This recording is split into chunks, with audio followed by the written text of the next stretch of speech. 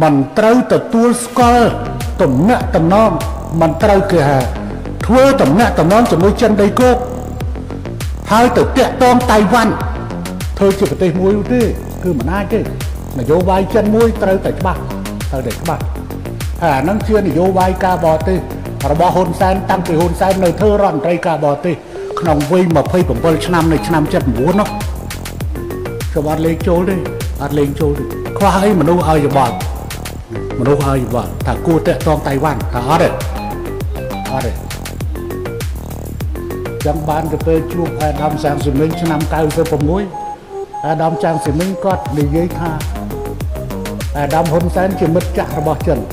ខ្ញុំយល់ពាក្យមិត្តចាស់របស់ចិនគឺសំដៅទៅលើការអនុវត្តនយោបាយចិនមួយ